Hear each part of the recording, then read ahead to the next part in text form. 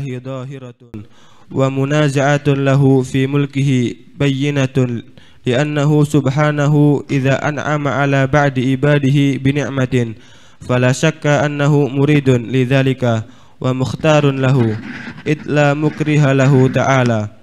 فإذا أراد الأبد خلاف ما أراد مولاه فقد أساء الأدب واستوجب الأطب. ثم إن الحساد قد يكون على أمور الدنيا Kaljahi wal mali wahya asgaru min an yuhsada 'alaiha Balian yanbaghi laka an tarhama man ibtuliya biha wa tahmadallaha alladhi afaka minha wa qad yakunu ala umuril akhirati kal ilmi was salahi wa qabihun bil muridi ayyahsada man wafaqahu ala tariqihi wa awa, wa awanahu ala amrihi Balian yanbaghi bal yanbaghi lahu ayyafraha bihi لأنه صار أونا وجنسا يتقوى به والمؤمن كثير بأخيه. بل الذي ينبغي لمريد أن يحب بباطنه ويجتهد بظاهره في جمع الناس على طريق الله والاستغلال بطاعته. ولا يبالي أفضله أم, فضل أم فضلهم فإن ذلك رزق من الله. وهو سبحانه وتعالى يختص برحمته من يشاء. وفي القلب أخلاق كثيرة مذمومة لم نذكرها لم نذكرها حرصا على على الإيجاز. وقد نب وقد نبهنا على أمهاتها وأم وأم الجميع وأس وأس وأصلها وأصلها وأصلها ومغارسها. ومغرسها. ومغرسها حب الدنيا فحب فحبها رأس كل خطيئة كما ورد. وإذا سلم القلب منه فقد صلح وصفى وتنور وطبى وتأهل لواردة الأنوار وصلح للمكاشفة بالأسرار.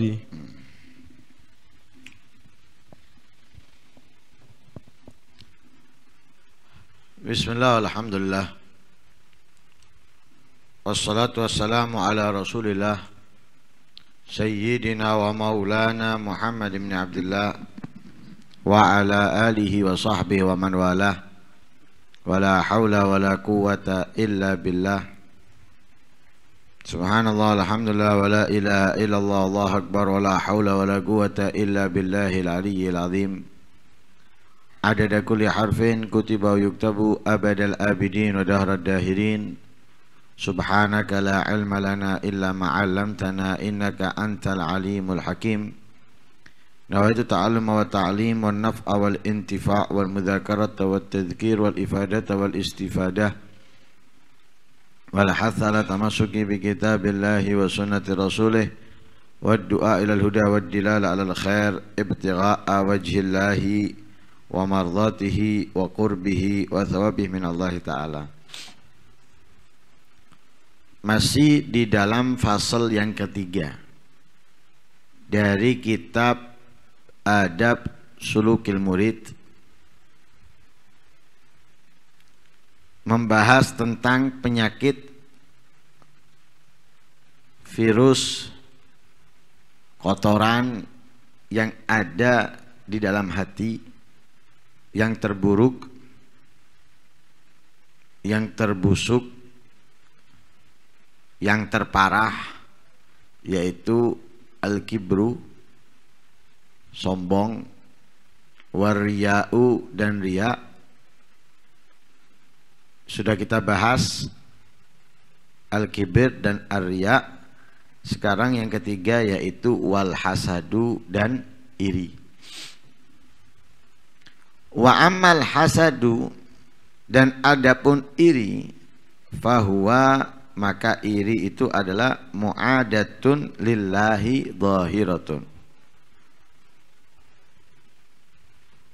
Permusuhan pertentangan kepada Allah secara zahir wa munazaatun menggugat lahu Allah fi mulkihi di dalam kepemilikannya bayinatun sangat jelas li'annahu subhanahu karena Allah subhanahu wa ta'ala idza an'ama jika memberikan kenikmatan ala ba'di ibadih kepada sebagian hambanya.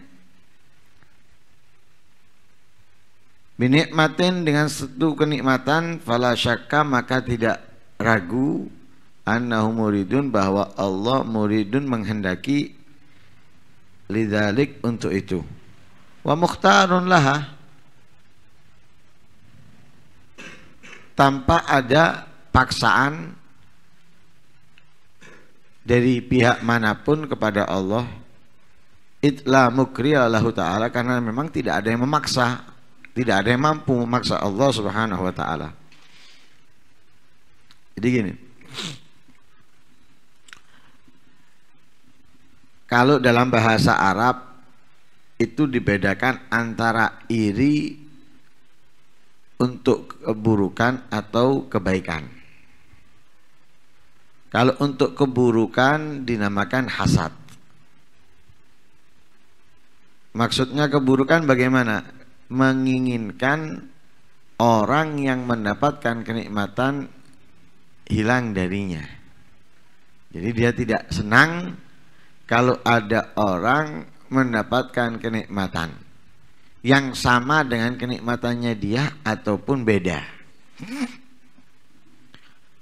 Baik orang itu adalah teman kita, saudara kita, tetangga kita atau orang Islam lainnya yang tidak kita kenal ketika kita tidak menyenangi kenikmatan itu ada padanya dan kita menginginkan kenikmatan itu hilang darinya itu adalah namanya hasad dan hasad itu tercela menjadi terburuk di antara terburuk penyakit hati. Sebab itu Allah Subhanahu wa taala mengajarkan kepada Nabi Muhammad untuk meminta perlindungan darinya dari keburukan orang yang iri. Wa min syarri hasidin idza hasad.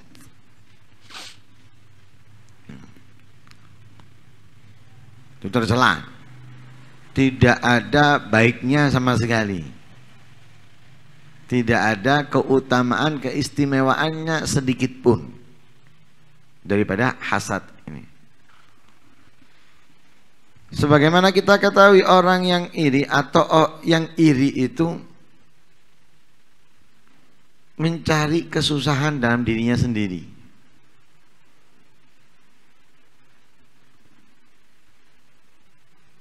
Yang tadinya dia senang, tadinya dia nggak bermasalah, tapi karena iri hanya nggak senang, nggak tenang, jadi segalanya murka dan yang lain sebagainya.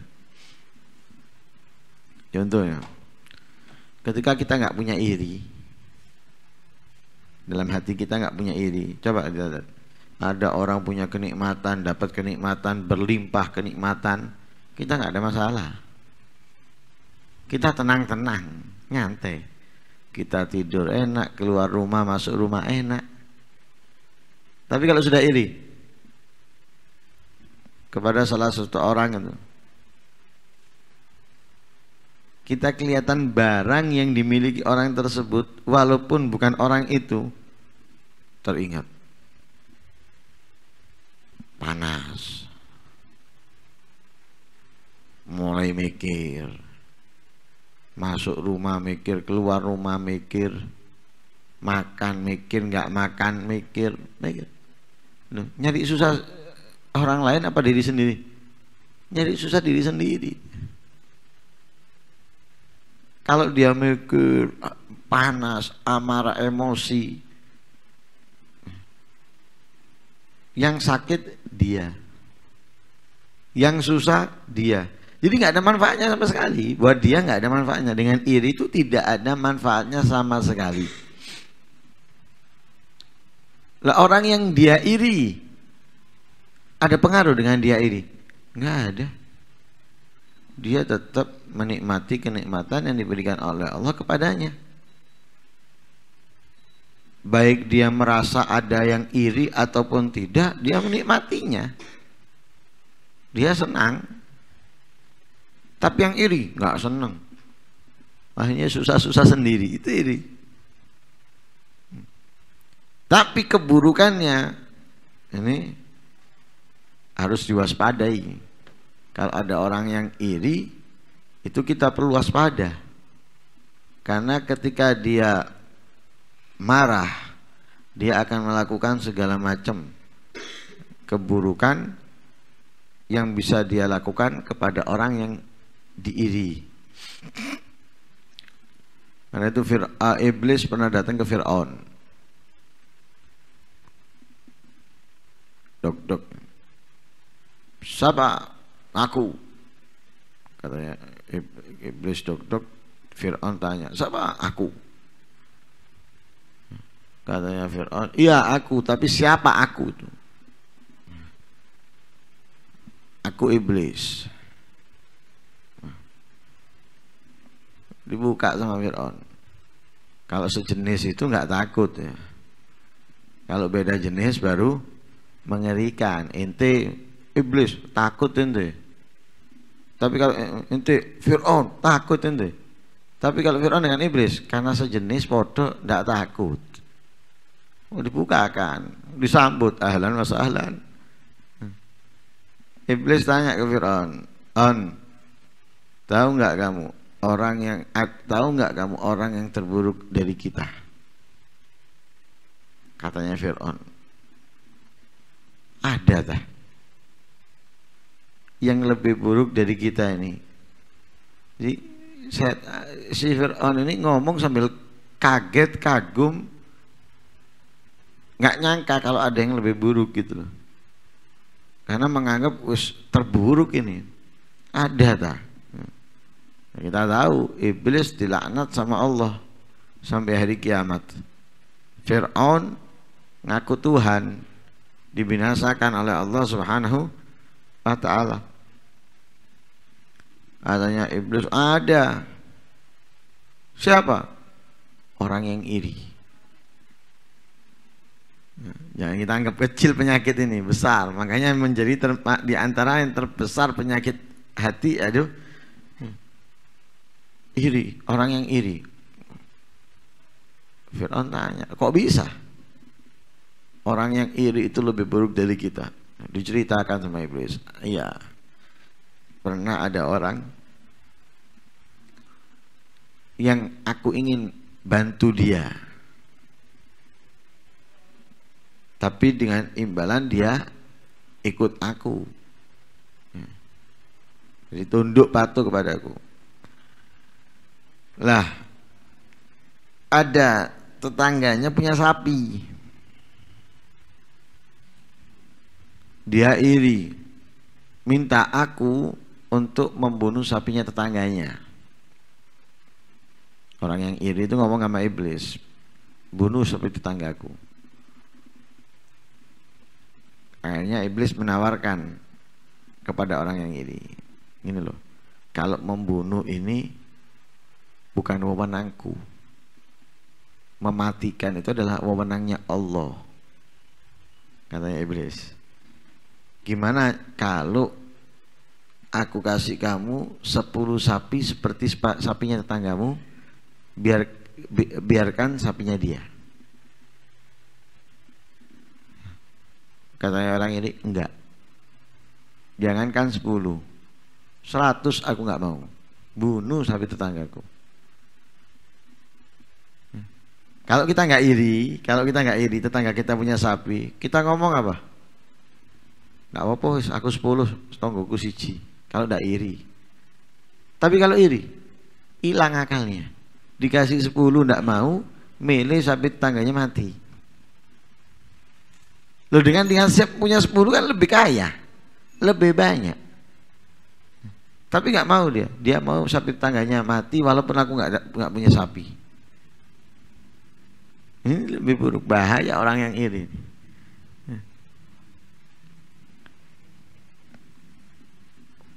Karena itu Nabi diajarkan untuk meminta perlindungan kepada Allah. Dan kita orang yang beriman harus membersihkan hati kita dari kotoran hati di antaranya iri. Karena ini membahayakan keimanan kita. Membahayakan pahala yang kita dapat dari kebaikan dan ketaatan. Rasul Shallallahu Alaihi Wasallam bersabda, Innal hasada ya'kulul hasanat kama ta'kulun naru al-hatab. Iri itu dapat menghabiskan kebaikan-kebaikan sebagaimana api memakan atau melahap kayu. Di kebaikan yang kita dapat dari ibadah, pahala yang kita dapat dari ketaatan, derajat yang kita dapat dari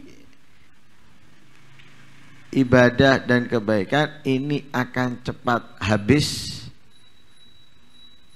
kan dengan iri. Karena iri cepat tek. Paham ini ya?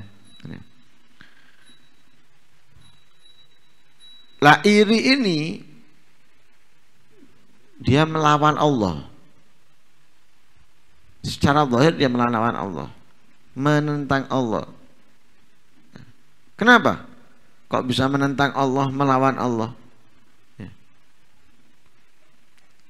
Kenikmatan itu datangnya dari siapa? Allah. Yang membagikan kenikmatan itu kepada makhluknya adalah Allah. Wa ma bikum min nikmatin Allah. Semua kenikmatan, kecil, besar, sedikit banyak terlihat ataupun tidak dirasakan ataupun tidak dari Allah Allah yang membuat Allah yang memberikan kepada hamba-hambanya nah kalau ada satu hamba Allah berikan dia kenikmatan tambahan dari hamba yang lain kenikmatan tambahan berarti kan karena semuanya dapat kenikmatan. Nggak ada orang yang hidup tanpa kenikmatan Allah. Semuanya hidup dengan kenikmatannya Allah. Ketika ada salah seorang itu mendapatkan tambahan kenikmatan. Atau kenikmatan yang ditampakkan. Yang dapat dirasakan oleh hamba. Berarti orang yang iri itu terkadang punya kenikmatan lebih tapi tidak dirasakan bahwa dia mendapatkan kenikmatan. Bukan kenikmatan tambahan. Misalnya kita punya kenikmatan sudah ada tapi Allah menampakkan dan merasakannya. Sehingga kita bisa merasakan ini adalah kenikmatan tambah apa yang bisa aku rasakan sedangkan yang orang yang iri mungkin dia punya kenikmatan yang sama tapi tidak dibuat dia merasakan kenikmatan itu atau tidak ditampakkan atau memang kenikmatan baru yang datang yang diraih yang diberikan oleh Allah kepada orang tersebut tidak diberikan kepada yang lain. Lah orang yang iri ini berarti menentang Allah, melawan Allah. Melawan Allah dia. Loh yang memberikan kenikmatan itu adalah Allah. Yang membagi Allah, yang membuat Allah dan Allah yang memberikan kepada sebagian hambanya. Nah, berarti ketika kita tidak menyetujui kenikmatan itu dimiliki berarti kita melawan Allah. Berarti kita menentang Allah. Karena Allah itu tidak dipaksa oleh siapa pun. Bukan karena ada tekanan kemudian Allah memberikan itu kepada orang tersebut. Enggak. Tanpa ada tekanan Allah membagi dan Allah memberikan kepada sebagian hambanya. Lah ketika kita tidak setuju kita nggak senang kenikmatan itu diraih oleh orang tersebut maka kita melawan Allah menentang Allah menentang Allah nah kalau kita menentang Allah apakah kita orang yang mulia orang yang baik tidak faida aradal abdu khilafa ma arada maulahu faqad asa al adab atab jika seorang hamba itu menghendaki yang beda dengan apa yang diinginkan Allah Subhanahu wa taala sebagai Tuhannya, maka ia berarti kurang adab atau buruk adabnya dan pantas untuk mendapatkan murka Allah. Hmm. Anak punya, anak punya. Tidak ada karena anak memberikan, anak punya hak apa? Memberikan kepada orang yang anak mau kasih. Oh, anak kasihkan ke A. Haknya anak, itu punya anak, anak mau membagi kepada siapa? Ya haknya anak. Anak kasihkan ke A. Lah kenapa kok B kemudian iri? Kepada A. Lah berarti dia apa? Mengatur ingin mengatur apa yang bukan menjadi miliknya. Dan itu tadi punya siapa? Punya anak. Ketika anak berikan ke A, wah anak nggak ada tekanan kok, itu punya anak. Anak berikan ke A. Lah kenapa si B ngatur? Nggak seneng. Anak mau berikan kepada A. Ya. Seakan-akan apa? Jangan dikasih. Loh apa urusannya dia? Yang punya anak yang ngasih anak. Berarti apa nih B nih? Kurang ajar berarti. Lah kalau kurang ajar itu, pantasnya apa? Pantasnya ditembeling. Pantasnya dimarahi. Kenapa? Kurang ajar. Ngatur yang bukan menjadi miliknya haknya. Sama kita kepada Allah. Kalau kita iri kepada orang yang mendapatkan tambahan kenikmatan dari Allah Subhanahu wa taala atau ditampakkan kenikmatan yang sudah ada pada dirinya sehingga diketahui yang lain, maka ketika kita iri berarti kita menentang atau mengatur Allah di dalam memberi. Ini kurang ajar. Berhak kita mendapatkan murkanya Allah Subhanahu wa taala. Lah kemudian iri itu di sini dibagi menjadi dua. Summa innal hasad gat yakunu ala umuri dunia kal wal mal. Ya. Kemudian sesungguhnya iri itu terkadang berhubungan dengan perkara urusan dunia, perkara-perkara dunia. Kal jahi wal mal seperti kedudukan dan harta. Dalam setiap lembaga itu pasti ketika ada orang yang baru kemudian mendapatkan kedudukan yang tinggi dalam perusahaan misalnya atau dalam lembaga-lembaga tertentu pasti yang lama itu nggak seneng. Yang ramah pasti iri. Baru masuk yang tadinya dia mungkin di bagian A kemudian baru beberapa bulan diangkat walaupun yang mengangkat tadi itu dengan alasan yang memang tepat. Tapi sekitarnya pasti apa? Anak sudah setahunan sudah dua tahunan nggak diangkat. Padahal padahal padahal. Nah dalam urusan dunia jabatan harta juga gitu. Sana sudah kerjaan lebih toko buka lebih awal, tutup lebih akhir. Tapi kok dia yang tutup bukanya lebih cepat, lebih lama, tapi hasilnya kok lebih besar. Iri. Ya?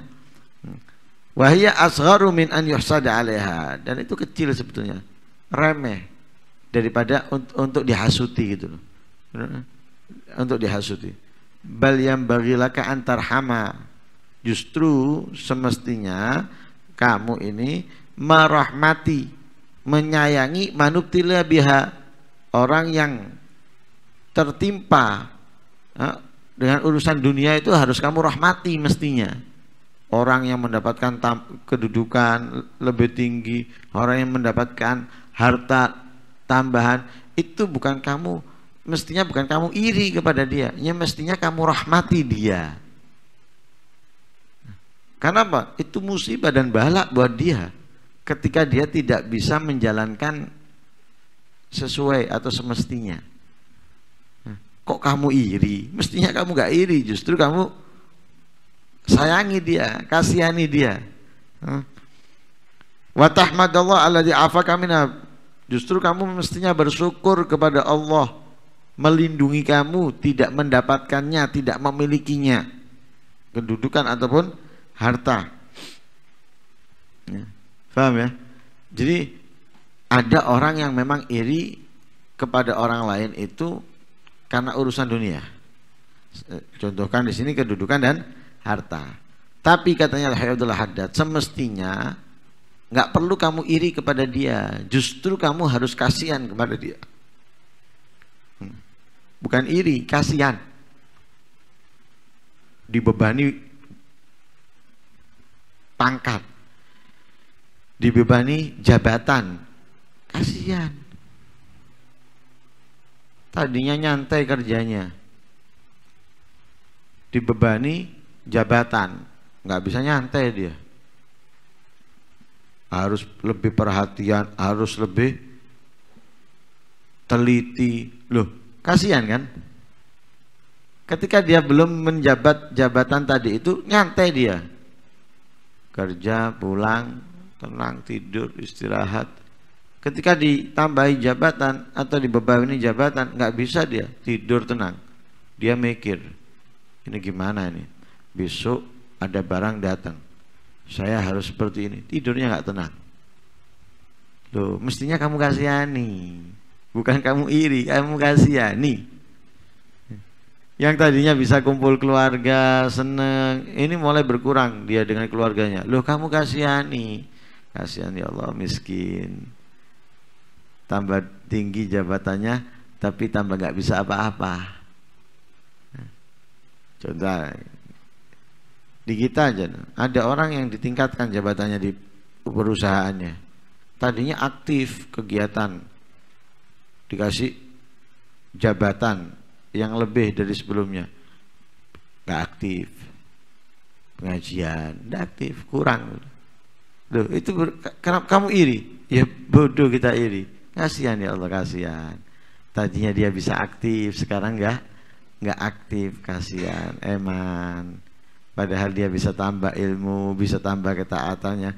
Tapi dia dikasih jabatan ini akhirnya dia nggak bisa meninggalkan kebaikan ini ketaatan ini dan lain-lain sebagainya. Begitu juga harta kasihan. Bukan kita iri justru kasihan. Bahkan bersyukur kamu kepada Allah. Kamu tidak mendapatkan itu. Mendapatkan harta tambahan atau eh, kedudukan bersyukur. Alhamdulillah anak bisa tetap taklim anak tetap bisa berjamaah anak tetap bisa membaca Al-Qur'an. Alhamdulillah dia nggak bisa. Ya Allah kasihannya. Gitu. Huh? Itu yang pertama. Yang kedua wakat yakunu ala umuril akhirah. Terkadang iri itu terjadi di dalam perkara-perkara akhirat. Hal-hal yang berhubungan dengan akhirat. Apa? Kal ilmi seperti ilmu wasalah dan kesolehan ya, kesolehan orang punya tambah ilmu. Ada orang yang iri. Orang tambah baik. Ada orang yang iri macam-macam. Ya. gabihun bil murid an yahsida man wafaqahu ala tariqih. Dan buruk kepada seorang murid yang iri kepada orang yang menyamainya atau serupa dengannya ala tariqih pada jalannya. Sama-sama ngajarnya. Iri. Anak ngajar dia ikut ngajar sama-sama dakwanya. Anak dakwah dia ikut dakwah. Iri kepada orang yang berbuat sama dalam kebaikan dengan dia. Ini buruk ini. Ini terjadi banyak kan? Nggak ada kemudian dia pertama yang ada di situ misalnya. Muncul baru melakukan perbuatan yang sama dengan dia, pasti apa? Oh, mau nyaingi ini. Anak kemarin nyaingi anak. Akhirnya karena dia nggak seneng akan menfitnah, akan ini loh ini iri namanya. Orang yang pertama iri dengan orang yang baru. Kenapa nggak mungkin yang baru iri dengan yang pertama nggak mungkin. Kebanyakan yang lama iri dengan yang baru. Ini buruk ini. Hmm? Karena sama jalannya yaitu ini ngajar, ini ngajar juga atau ini pengajian, ini pengajian juga. Karena sama iri. Nah ini buruk. Padahal apa? Wa awanahu ala amri. Padahal orang itu membantu dia, menolong dia dalam urusan yang sama. Kita ngajar atau kita dakwah. Tujuannya orang yang bodoh bisa tahu. Orang yang jauh bisa dekat Orang yang lupa, lalai bisa ingat. Kan gitu. Tujuannya dalam mengajar atau dalam berdakwah. Nah, yang kita jangkau itu nggak semua. Ada orang-orang yang tidak datang kepada kita atau nggak mau datang kepada kita. Tapi ketika ada yang lain berbuat sama dengan kita, maka mungkin orang yang nggak mau datang ke kita datang ke dia. Yang nggak mau belajar dengan kita yang nggak mau mendengarkan dakwah kita mungkin nggak ke kita tapi ke dia. Lo kan sama-sama. Sama-sama dalam jalan yang baik jalan yang lurus. Berarti dia apa? Membantu kita meringankan kita. Karena apa? Tujuan kita memahamkan mendekatkan mengingatkan dan itu berdap, didapatkan oleh orang lain yang baru datang dalam mengajar dan lain-lain sebagainya. Lu membantu kita. Lah kalau kita mau orang semua mendengarkan dari kita, tidak bisa. Ada orang tidak pernah berkomunikasi tapi nggak seneng. Nggak seneng ngelihat kayak tok wong iki. Loh, dia nggak pernah ngobrol, nggak pernah duduk, tapi dia ngelihat sekilas wong iki kayak tok kayak opo. Tapi ada orang lain sekalipun dia nggak pernah ngobrol tapi dia seneng. Lah yang lain itu sama orang yang dia nggak senengi sama. Sama. Ibarat makanan itu beda merek, Beda merek, sama-sama instannya. Dan kenapa harus kita benci itu? Kenapa harus kita iri? Mestinya kita bersyukur, Alhamdulillah. Insya Allah tujuan semuanya ini sesuai target. Karena kepingin orang-orang sini ngerti.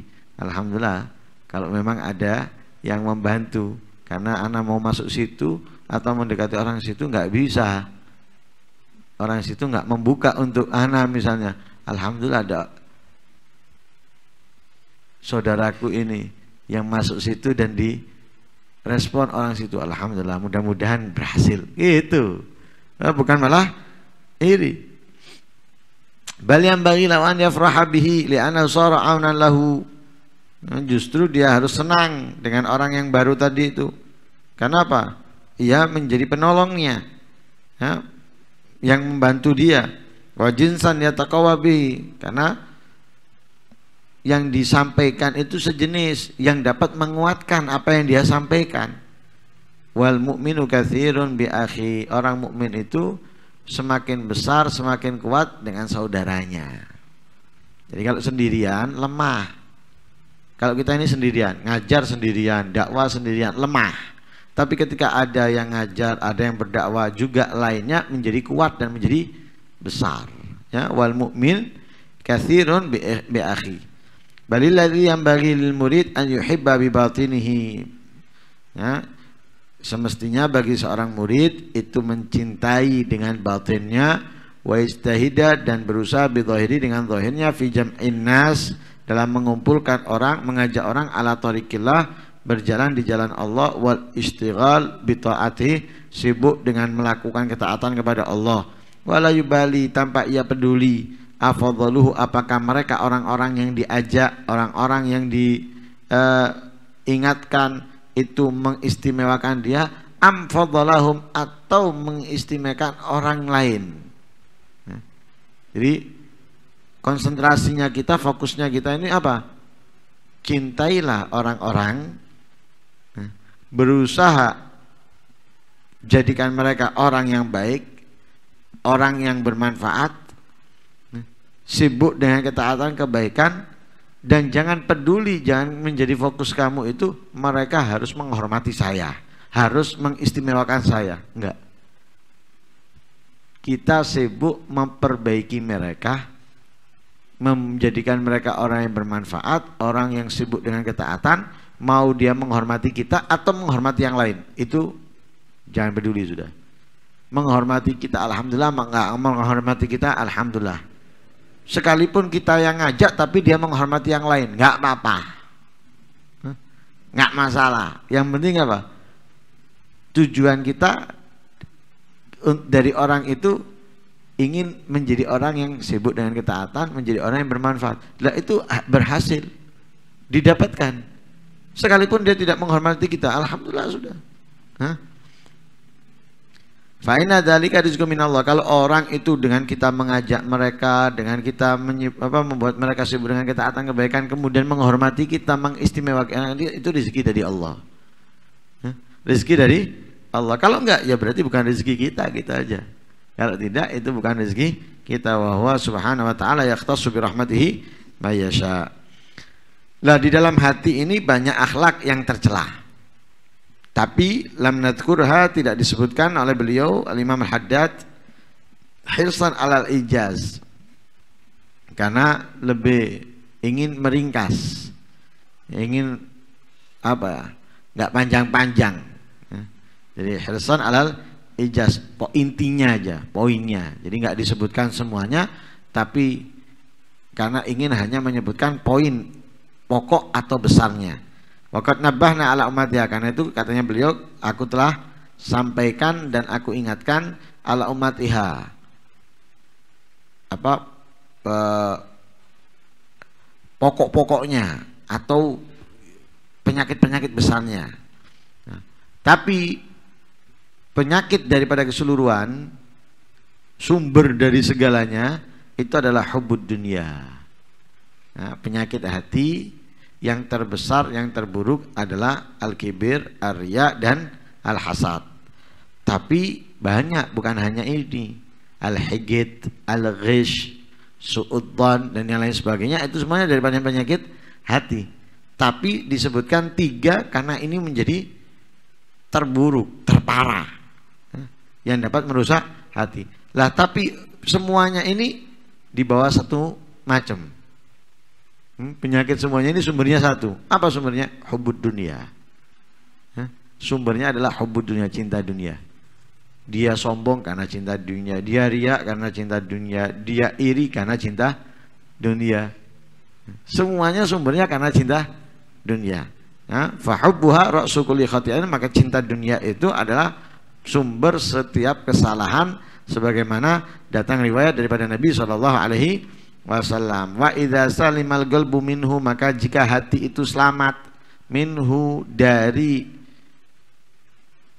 asluha aslul jami atau penyakitnya fakat salaha wa sofa maka hati itu layak ya, dan bersih wa tanawar bercahaya wa top dan indah. Wa ta'ahala liwaridatil anwar pantas untuk mendapatkan waridat ya pemberian-pemberian cahaya wasaluha dan pantas lil mukasyafa bil asrar ya, mendapatkan sir-sir dengan mukasyafa dari Allah Subhanahu wa taala. Jadi intinya kalau hati sudah bersih cukup pantas untuk itu semuanya. Kalau masih kotor nggak pantas. Hah? Tidak pantas. Nah, makanya kita harus kita bersihkan hati kita dari segala penyakitnya, terutama daripada hubbud dunia, cinta dunia, karena sama sekali tidak membuat kita menjadi baik, membuat kita meningkat, justru membuat kita jauh dan jatuh dari kemuliaan, keistimewaan dari Allah Subhanahu wa taala. Mudah-mudahan Allah Subhanahu wa taala menghindarkan kita dari segala penyakitnya ya, dan mudah-mudahan Allah menyelamatkan kita dari segala kotoran hati. Amin. Allahumma amin. Sallallahu alaihi wasallam Muhammad nabi Muhammad Alhamdulillahi rabbil alamin. يا ربنا اعترفنا بأننا اقترفنا وأننا أسرفنا على لظى أسرفنا. فتب علينا توبة تغسل كل حوبة. واستر لنا الأورات وآمن الروآت.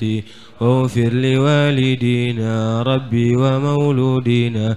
والأهل والإخوان وسائر الخلان. وكل ذي محبة أو جيرة أو صحبة. والمسلمين أجمع آمين ربي اسمع. فضلا وجهدا منا لا باكتساب منا بالمصطفى الرسول. نحظى بكل سولي بالمصطفى الرسول. نحظى بكل سولي بالمصطفى الرسول. نحظى بكل سول صلى وسلم ربي عليه عد الحبي. وآله وصحبه عداد تخصيصه والحمد للإله في البدء والثناء. حمدا كثيرا دائم. محبة النسائم. سبحان ربك رب العزة عما يصفون. وسلام على المرسلين. الحمد لله رب العالمين. الفاتحة.